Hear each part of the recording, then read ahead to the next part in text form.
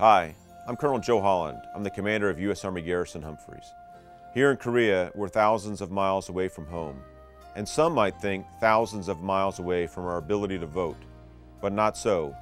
Each unit has a voting assistance officer that's ready to enable soldiers, civilians, and families to exercise their right to vote in presidential elections that are upcoming in November 8th, but also in primaries and caucuses that are the prelude to that presidential election that will occur in November.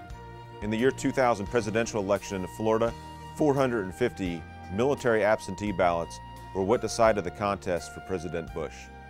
Your vote matters and it counts more than you would think. See your voting assistance officer and exercise your right to vote.